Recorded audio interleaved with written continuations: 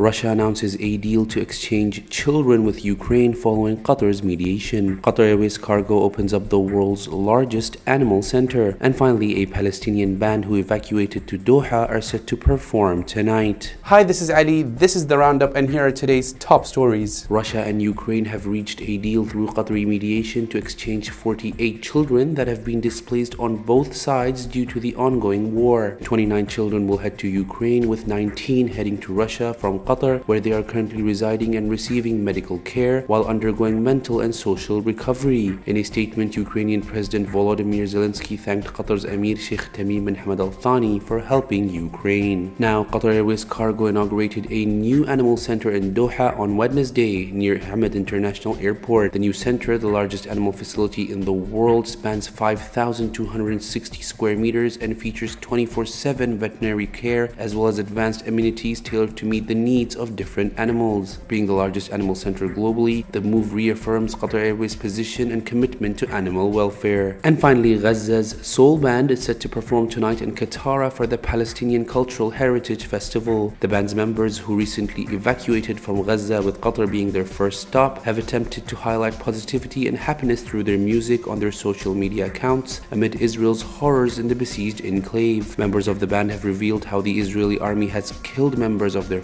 families and destroyed their homes in the ongoing bombardment. This will be their first performance since their evacuation. Be sure to catch it on Doha News. Well, that's all for today. For more stories, head over to our website or download our app.